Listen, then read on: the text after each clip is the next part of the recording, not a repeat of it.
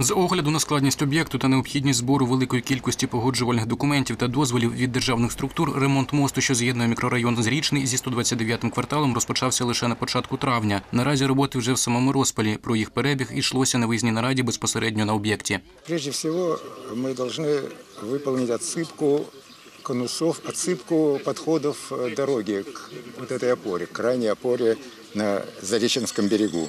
Это самый большой объем работ. Вот видно отсев, он туда постепенно ссыпается, он будет уплотнен послойно, покрыт щебнем, потом бетоном. Чтобы он не съехал в реку, вот там уже выполнен упорный упор такой бетонный. Вторая часть, большая часть работы – это устройство новых э, тротуаров с отбойным брусом высотой по новым нормам 75 сантиметров для данной категории дороги. Монтаж идет вслед за работами по замене трубопроводов. Пока они не сделали, мы не можем, но мы готовимся.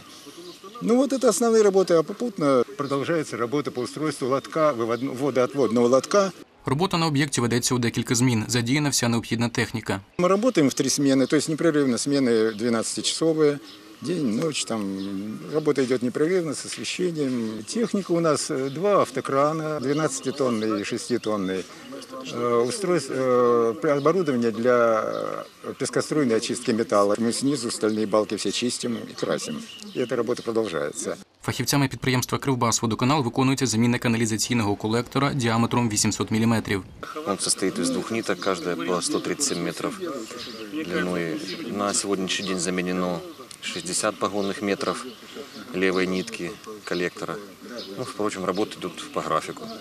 Вот, с целью соблюдения тех жестких сроков, которые поставлены, работа организована круглосуточно. То есть работают 4 бригады по 9-10 человек. Плюс привлекается постоянная техника в зависимости от необходимости. Грузоподъемная, автотранспорт и так далее. Я думаю, мы все успеем. За словами підрядників, робота з відновлення мосту продовжується. Поставлене завдання відновлення руху транспорту на об'єкті фахівці намагатимуться виконати якомога швидше.